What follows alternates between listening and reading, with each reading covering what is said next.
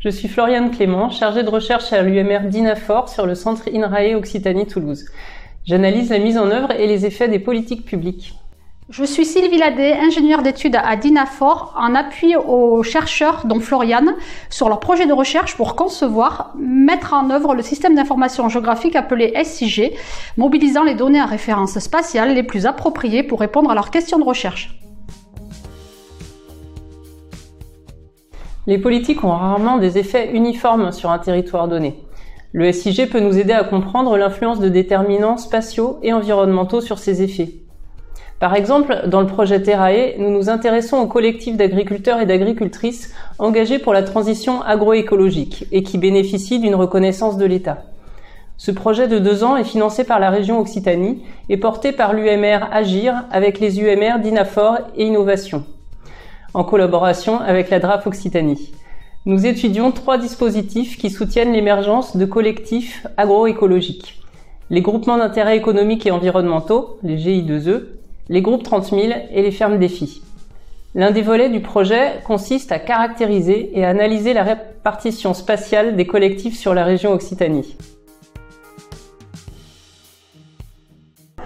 Nous avons co-encadré en 2021 avec Catherine Foyer-Benos, la collègue de la DRAF Occitanie, le stage de fin d'études de Constance Chrisman, étudiante de fin d'année de l'école d'ingénieurs de l'hygiène. Il s'agissait de concevoir la base de données regroupant pour la première fois ces trois dispositifs collectifs et permettant de localiser au siège les exploitations agricoles engagées dans, l'un ou l'autre des trois dispositifs. Ici, sur cette carte, en 2021, ce sont près de 3400 points représentant les sièges d'exploitation qui ont été cartographiés. Puis, dans un deuxième temps, nous avons estimé sur l'ensemble de la région la densité de dispositifs en utilisant les outils de carte de densité à noyau et ainsi repérer plus facilement les zones de faible ou forte densité où les politiques publiques pourront focaliser leur action.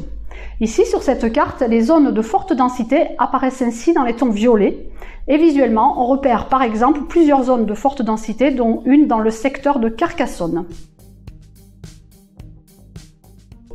Il peut y avoir potentiellement une grande diversité de facteurs influençant l'émergence des collectifs.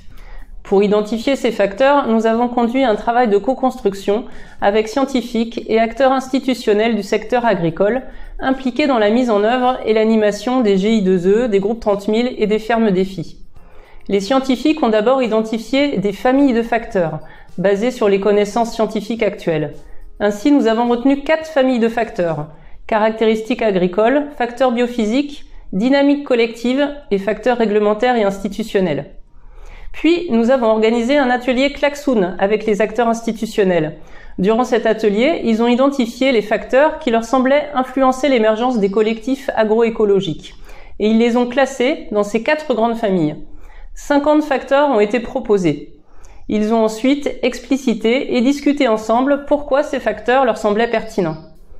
Nous avons testé une dizaine de facteurs. Nous avons retenu ceux qui pouvaient être spatialisés et dont les données étaient disponibles en privilégiant au moins un facteur par famille. On a donc réussi à spatialiser certains de ces facteurs explicatifs à l'échelle de la région et calculer par jointure spatiale s'il y avait des concurrences plus fortes entre la présence de ces facteurs et nos zones de forte et faible densité. Par exemple, ici, les zones de forte densité de dispositifs en hachure rouge sur la carte se superposent plus souvent avec les zones vulnérables au nitrate. Il nous reste encore quelques mois pour finaliser ce projet et nous avons entrepris un travail complémentaire avec l'unité ODR pour vérifier si les concurrences spatiales analysées géographiquement étaient statistiquement significatives. À vous la grande motte.